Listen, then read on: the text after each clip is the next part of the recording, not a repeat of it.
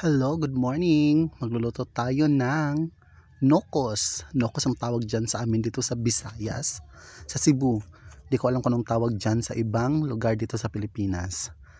So, mga ilang taon na din at karon pag ta nakakaon og balik og nokos. Kay palagi na lang tayo nag ano guys, lumyagan. Kapatid lang sila doon. At hugasan muna natin para maging malinis. Sarap ito guys. Fresh na fresh. Galing pa mismo sa karagatan. Bagong huli. Ayan, hugasan lang natin. Actually, pang-apat ko siyang hinugasan.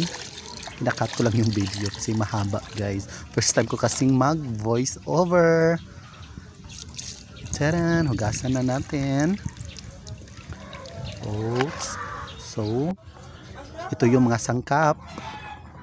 Yan hiwain lang natin guys. Balik may bawang, ahos at kamatis tayo guys. Itong tatlo lang gamitin natin. At hihiwain lang natin. Kahit anong gustong hiwa guys gawin nyo. Kasi nakadepende din yan sa type nyo. And nandito na tayo sa ating wonderful kitchen Ayan guys, nasa lupa lang tayo kasi wala tayong abuhan.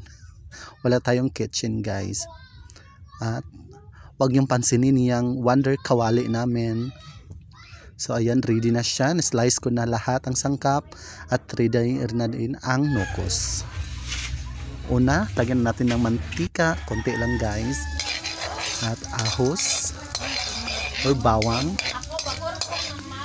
Yan, mag, natin siya mag-brown para medyo paig-paig siya gamay.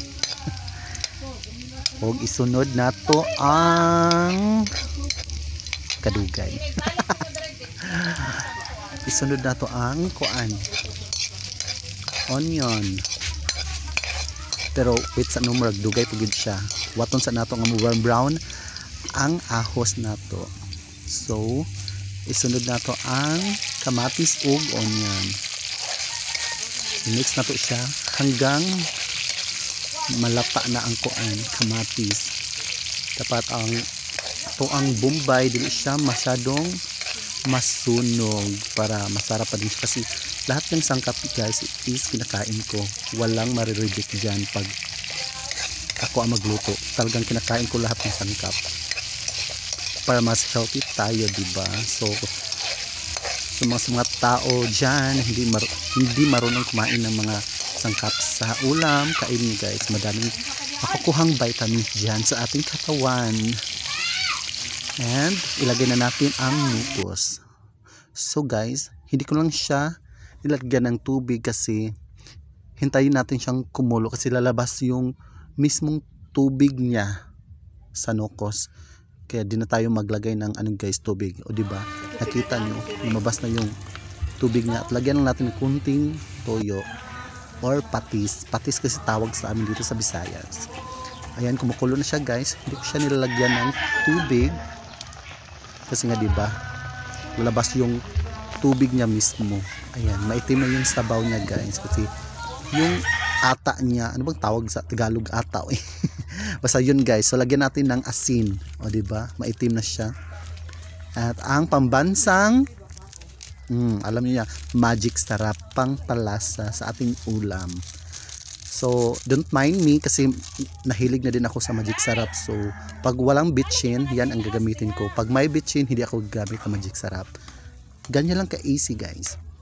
And haluin lang natin siya hanggang lumambot Ayan na yung tubig na lumalabas na, dumami na siya. At lalagyan ko lang ng dahon laurel para mas lag, lag para mas laging matimpla. Di ba? Ayun guys, maliit yung sabaw niya. Kumukulo na siya. And taran! Luto na ang ating adobong nokos. O di ba? Thank you for watching guys. Bye-bye.